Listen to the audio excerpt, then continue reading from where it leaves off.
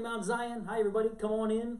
Jump online. We're going to start our service in just about a minute here or so. Just want to give everybody a chance to log in and uh, get set up. So go ahead, log in, get set up. We'll start our worship service in about 60 seconds.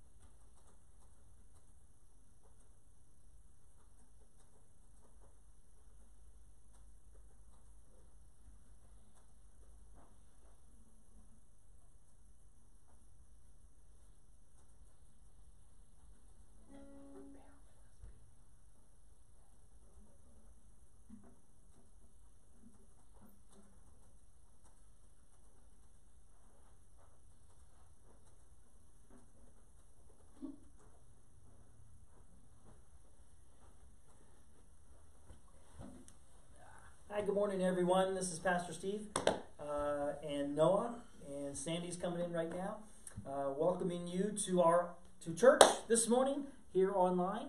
Uh, we're happy to have you with us, and uh, Sandy's going to open us up with some thoughts this morning. Good morning, Mount Zion. Um, well, this has been a different week, as you can see. Uh, you're, you're looking at us from a different location, and one of the things that the Lord has really been speaking to me about is our plans and how man makes their plans.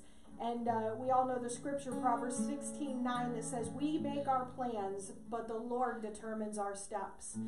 Um, also, uh, in Psalms 37 23, it says, The Lord directs the steps of the godly, He delights in every detail of their lives.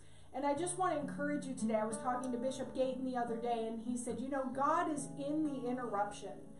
And so as as frazzled as I am, because for those of you that know me, you know I like things in order, my ducks in a row, things planned um, to a T and followed through that way. God is in the interruption, and for me, it's a matter of settling into His peace and His grace and trusting Him and asking Him in the middle of the interruption, God, what is it you have for me here in this place? Yes. You've come and you've disrupted my plans, but you're ordering my steps, and this journey is yours and mine together, and I don't want to step out of that. So I just want to encourage you today that wherever you are, however you end up there, uh, and whether planned or unplanned, in this case completely unplanned, um, trust Him. Trust Him and just continue to walk with Him and seek Him and ask Him, God, what is it you have for me in this interruption, in this pause? Um, we say, we, you know, the governor of New York is saying that we are paused, but we know life doesn't pause. That's what's brought us here because life didn't stop just because the governor said, stay home and stop. It goes on, and God is in the midst of whatever is happening in your life. So be encouraged and trust Him. And when you're struggling with that, please reach out. We may be distant physically, but we are never, never far from each other. We have all means of, of communication where we can reach out. And thank you to all of you who have been reaching out to us and encouraging us during this time. We appreciate it. My mother appreciates it. She's behind me here, and um, we are we are grateful for all of your prayers and your love and your support and your encouragement. Keep it coming. Amen. Thank you, and God bless you. Amen. Amen. Thanks, Sandy. So, where in the world are the Patricks? we are in uh, Tallmadge, Ohio. Uh, we're in the home of our good friend, and of course, our uh, mother, uh, Reverend Dr. Sherry Ann Wool. We're in her home today. Uh, and of course, she's here. She's off camera, uh, but she's in the room today. Say hi, Sherry Hi. um, we came out here this week uh, just to spend some time with her and uh, with our family out here to minister to them a little bit.